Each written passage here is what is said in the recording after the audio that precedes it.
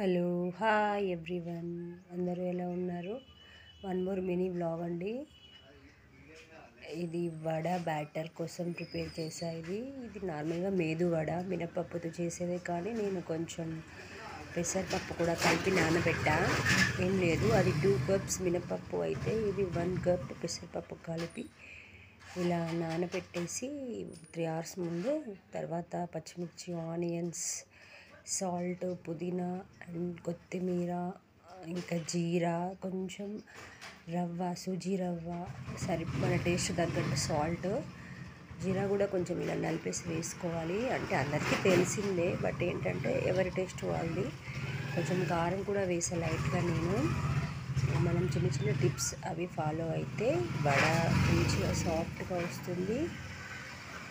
పగుళ్ళు ఏం రాకుండా మంచిగా ఉంటుంది. థ్యాంక్ యూ అండి. Thank you watching my channel